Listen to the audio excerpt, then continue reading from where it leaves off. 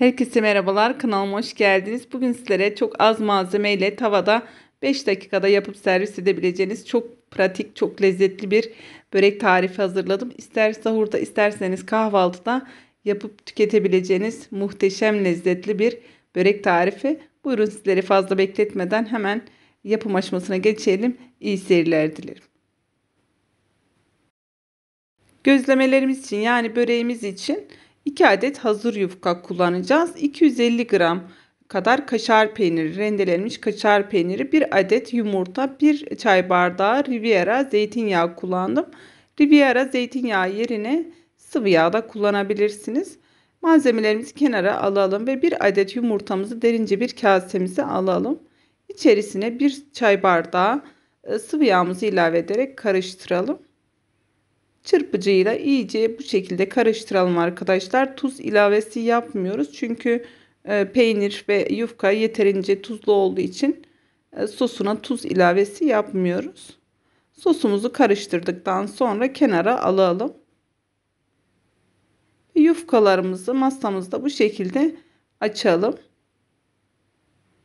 Yufkalarımızı eşit olacak şekilde e, bu şekilde düzeltelim ve tam orta kısmından ikiye e, ayıralım. Bir rulet yardımıyla yufkalarımızı ikiye kestikten sonra yufkalarımızı bu şekilde katlayarak kenara alalım. Katlayarak alırsanız yufkalarınız kurumaz arkadaşlar. Malzeme miktarını siz kişi sayınıza göre arttırıp veya azaltabilirsiniz. Eğer kalabalık bir aileyseniz e, yumurta sayısını arttırarak e, daha fazla gözleme yani börek yapabilirsiniz. Yufkamızın birini bu şekilde açalım ve hazırlamış olduğumuz sosumuzdan fırça yardımıyla yufkamızın her tarafına gelecek şekilde sürelim. Öncelikle damlatarak daha sonra fırça yardımıyla e, bu şekilde sürelim. Kaşar peynirini yufkamızın her tarafına gelecek şekilde serpelim.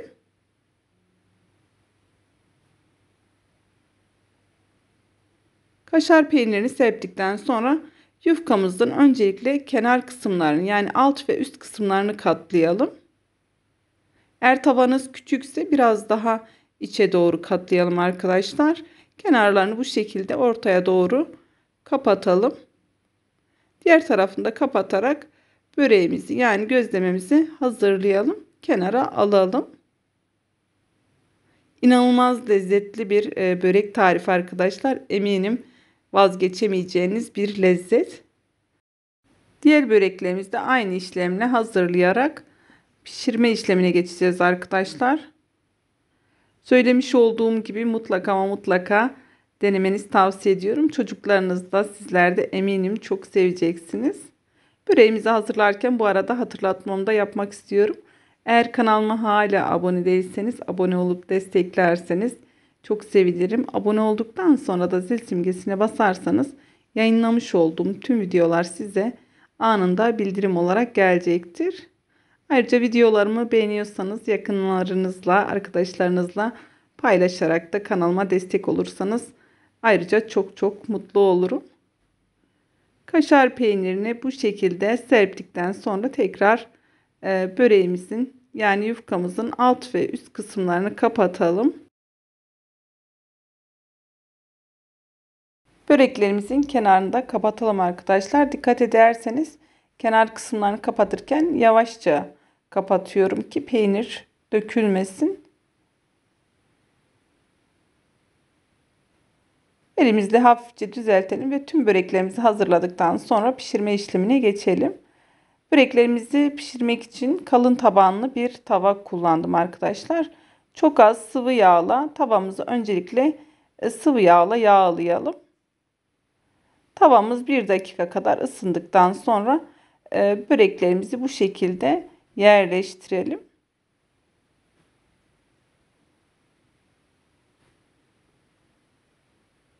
Ara ara kontrol edelim ve böreklerimizi e, ara ara çevirerek pişirelim.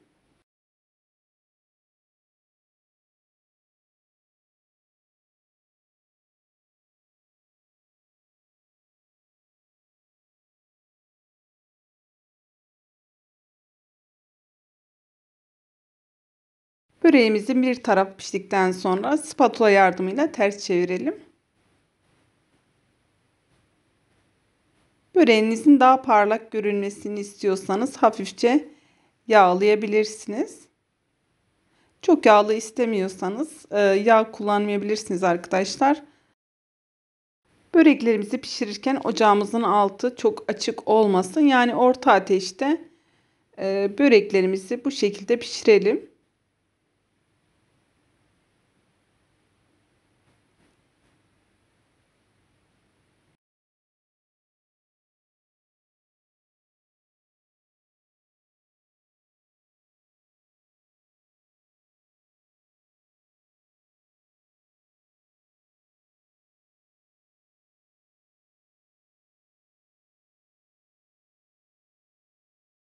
Böreğimiz neredeyse pişti. Pişen böreğimizi bir spatula yardımıyla tavadan alalım. Ve aynı işlemle tekrar spatula yardımıyla böreğimizi bu şekilde yerleştirerek pişirme işlemine devam edelim. Söylemiş olduğum gibi eğer böreklerinizin yüzeyini e, hafifçe yağlamak isterseniz bir fırça yardımıyla hafifçe yağlayabilirsiniz. Çok yağlı e, olmasını istemiyorsanız yağ sürmeyebilirsiniz arkadaşlar. Tüm böreklerimizi aynı işlemle pişirerek böreklerimizi hazırlayalım.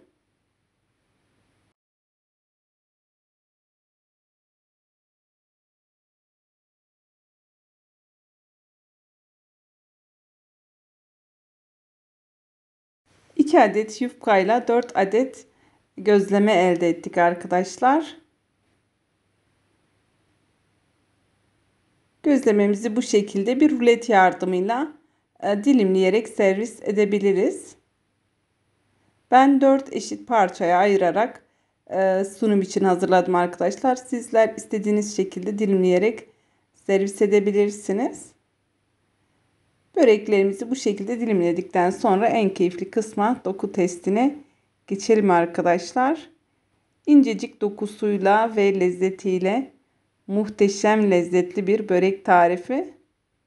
Çok da doyurucu bir börek. Söylemiş olduğum gibi isterseniz sahurda isterseniz kahvaltılarınızda e, çok pratik bir börek. Umarım sizler için yararlı, keyifli bir video olmuştur. Sıkılmadan izlemişsinizdir. Videomu buraya kadar izlediyseniz beğenmeyi, yorum yapmayı unutmayın lütfen. Bir sonraki videomda görüşmek dileğiyle. Kendinize çok iyi bakın. Hoşçakalın, sevgiler, saygılar.